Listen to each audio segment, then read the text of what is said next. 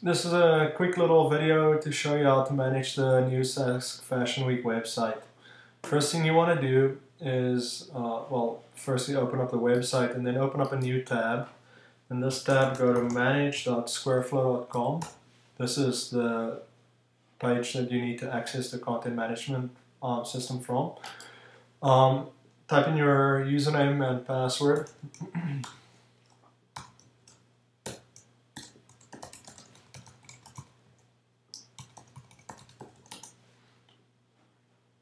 Once you're logged in, you'll see your dashboard with your toolbar um, and you will also see a quick uh, overview of your site's traffic.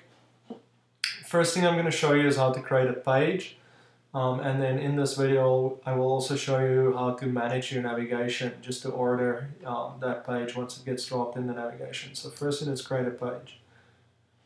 Uh, here you can see the pages that I have created. Now I'm going into a new page and I will call this page just test um, for now. In this field you can add some keywords. As you can see I've got this uh, set up already. Um, these keywords will show up in your navigation bar. So you can see here is actually the test page that I created previously. Um, and that's where it will show up. Uh, so if we go, I'll do this page just test two. Um, I'll add some more keywords here. Then give your page a, a title or a heading. There you go. And then provide some uh, test copy. So I'm just going to copy this content here. What you can do next is add an image. Click Browse then select the image you want to upload. we'll start by uploading this image. You'll notice that this image is quite big, it's 1600 pixels wide. Um, so what I'm going to do is I'm actually going to uh, just set the image to be 506, 560 pixels wide, which is the exact width of the column. Uh, and what happens as soon as you upload an image, the system will throw a tag at the bottom of the page. So you can cut that tag and paste it uh, wherever you want. In this case, I'm going to put it at the top of the page. I'm also going to add another image. This image is a lot smaller. It's 252 pixels wide. Um, here the tag has been thrown at the bottom, so I'll take that and I'll uh, just chuck it in there. Now what I'm going to do is I'm in, instead of saying instead of setting the image to, to be full width, I'm actually going to set it to be left aligned. When when you click either left aligned or center aligned or right aligned, you'll notice that it automatically specifies a width for that image. In fact, when you go back to the full width, it'll also specify a width of 600. Now, like I said, in this case, the website's width, the, the column is actually 560, so that's something to keep in mind. Um, but I'm going to select left align here. Now the 300 is actually a little bit bigger than what my image is. Uh, this image was 200 and something odd um, pixels, but we'll let it slide for now and let's just see what it looks like. Um, when you hit publish, the page will get created and a new tab will be added in the, navi uh, in the navigation. So let's just go back to the site, we'll hit um, reload and keep your eye at the top here um, and look for the new page as the page reloads. So here's my new page, test 2. If I click on it, there it is, there's the image that I uploaded and there's that second image that I uploaded. Um, I'm going to go in and make this image a little bit smaller. So I can go, firstly I'm going to delete this previous test page that I created.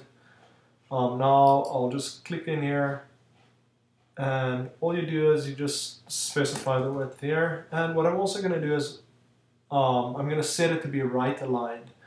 Now as soon as I click this it's going to set the width back to 300 so that's just something to pay attention to. Now the image is going to be, although the image is still showing up on the left hand side it will in fact be right aligned. Um, and so what I'm going to do is just specify my width again as 200 and hit publish.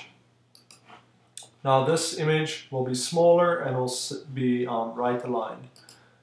We'll hit reload and there you see that's my, my new page, or that's how the page looks now that I've made that change. Once you've uh, created a page, uh, the tab will get thrown in the navigation, uh, as you can see there.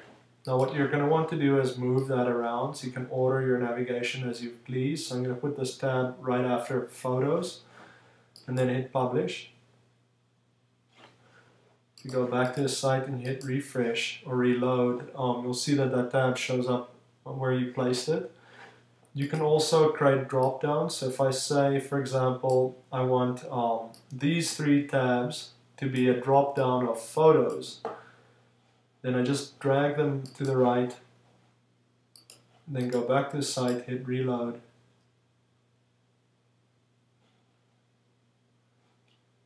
Give it a second and there it is.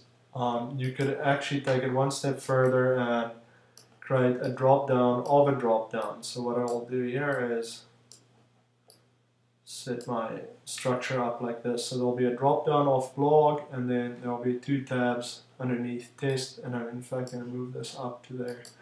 So hit publish again, reload,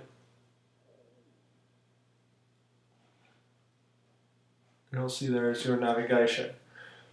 This is how you create a basic static page. Um, one last thing to show is if I want to go and work on, if I'm in my navigation module and I want to go work on that test page again, you might feel inclined to just click on the pencil here to go and edit that page. Um, what would happen in this case, since you're in the navigation module, is that that would actually just allow you to change the wording of that tab. Um, it doesn't actually allow you to edit the page. In order to edit the page, um, you need to actually go to the pages module and then uh, click edit delete. So there's my page. It, it, maintains the original name that I gave it although I've renamed it in the tab so that's something to keep in mind. Um, one other thing I just wanted to quickly show with any image you can just select that tag then go create a link. So if I want to for example link that um, one of these images to a particular um, blog topic. In this case, we only have one blog topic at the moment, it's news. So what I'll do is I'll just, um, I'll click on this blog topic. I'll copy that address. I'll go back and I'll tell that link to link to, or this image to link to that blog topic. So now if I go back to the home page, or sorry, if I actually go back to the test page, and I click on this image, it'll now take me back to the blog and show me the topic news. There you can see.